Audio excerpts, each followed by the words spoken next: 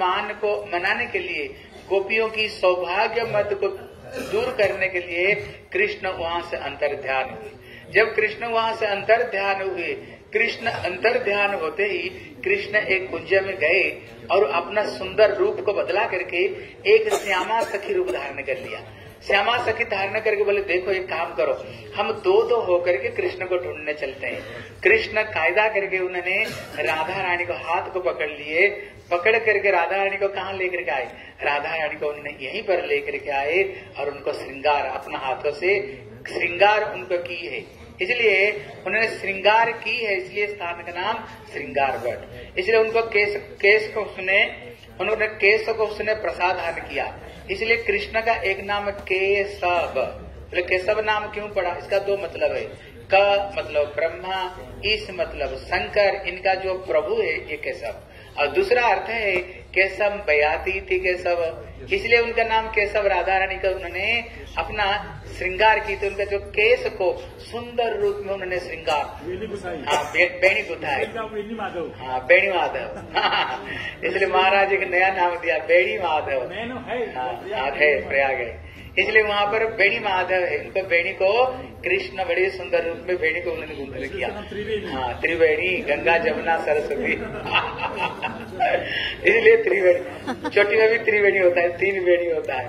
इसलिए कृष्ण ने सुंदर सुंदर पुष्प से द्वारा धारण की सुंदर सुंदर उन्होंने कैसी केस को उन्होंने श्रृंगार की, इसलिए कृष्ण का नाम भी केशव नाम पड़ गया।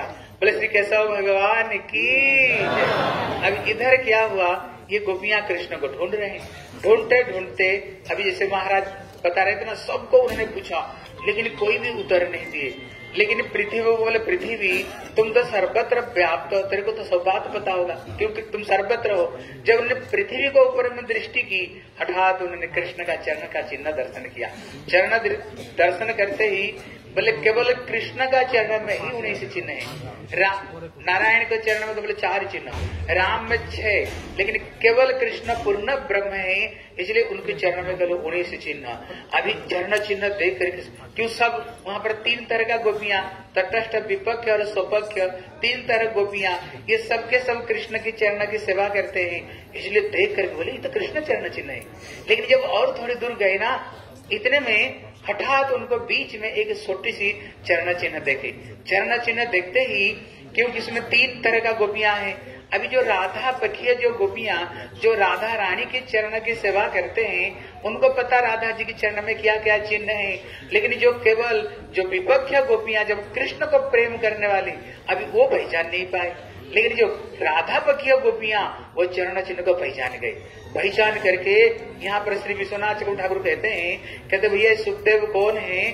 बोले, प्रिया सुख श्री विश्वभानुजाया पवित्र चंचु प्रिय चुंबने न एकांत कनन रहस्य पाठी, निकुंज प्रसाद सदा निवासी।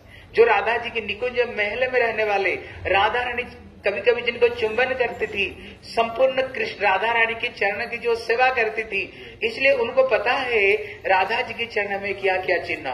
विश्वनाथ चक्र ठाकुर कहते हैं, जैसे दोनों दल में अगर जैसे लड़ाई हो, और जिस दल विजय प्राप्त करता है, वो शंख लेकर बजाता है। बोले, भैया, हमारी जय जयकार हुई।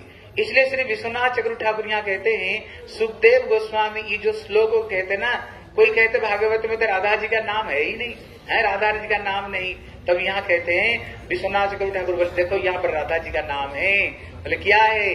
बोले, अनयाराधित लुनम, भगवान हरिश्वर लगता है ये गोपियाँ, सब गोपियाँ तो यहाँ पर थी, लेकिन इस सर्वश्रेष्ठ रूप में इनकी किसने आराधना की? बोले केवल श्रीमती राधा रानी की। क्यों? भले ही तुम लोग अपने आप को बड़ा मानती हो, हम कृष्ण के सबसे बड़े प्यारे हैं, लेकिन देखो देखो तो सही, श्याम सुंदर किसको लेकर गए? बोले केवल श्रीमती राधा रानी को लेकर गए। क्यों? ये सर्वश्रेष्ठ कृष्ण की प्रिया है। बोले, श्रीमती राधा रानी की। इसलिए उन्होंने जब उन्होंने और थोड़ी दूर गए ना, देखा वहाँ पर, और राधा जी के चरण है ही नहीं। बोले, भैया, यहाँ क्या गई? और एक कहते बोले, तेरे को समझ में नहीं आ रहे, बोले, क्या है? बोले, कृष्ण उनको अपना गोद में उठा करके लेकर गए। इसलिए कृष्ण का चरण देखो थोड़ा दबा हुआ। ऐसे करते करते जब यहीं पर आए, यहीं पर कृष्ण राधा जी को श्रृंगार कर रही थी। इतने में हई होला सुन करके कृष्ण बोले, चलो राधा जल्दी जल्दी चलो। बोले, क्यों?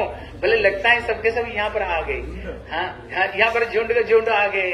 अगर अगर तुमको कोई देख लिया ना, मैं अकेले लेकर के आया, फिर क्या होगा? जो महाराज संभव नहीं।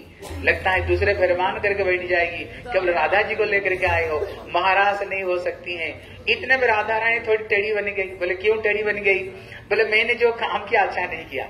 क्योंकि ये गोपियाँ है कौन? कहते मेरी काय प्रिय है।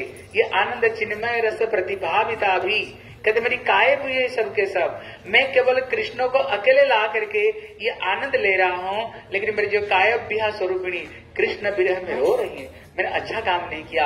अगर मैं थोड़ी सी टेढ़ी बन जाऊँ ना, कृष्ण और थोड़ा मेरे को मनाने लग जाए, फिर गोपियाँ आ जाएगी, फिर सब मिल करके हम लोग महाराज करेंगे। इसलिए राधा रानी टेढ़ी बन गई। मैं जा नहीं सकती हूँ। जहाँ इच्छा मेरे को ले चलो। बोले, क्या कंधे में ले चलो चलोगे? बोले, चलो, कंधे में बैठा चलो। फिर वहीं पर कृष्ण को कंधे पर बैठे गए तो वहीं पर कृष्ण अंतर ध्यान हो गए। यहीं पर श्रीमती राधा रानी बेहोश हो गई। हा कृष्ण करते करते गोपियाँ आकर उनको होश दिलाती हैं। होश दिला करके हे राधे, श्याम सुंदर तेरे को भी छोड़ कर चले गए। बोले हमें भी छोड़ करके चले गए। बोले देखो, चलो, उनको ज़्यादा मत ढूंढा करो। क्यों? वो छुपने के लिए कोशिश करेंगी। उनको कष्ट होगा। इसलिए उपनिषद क्या कहता है?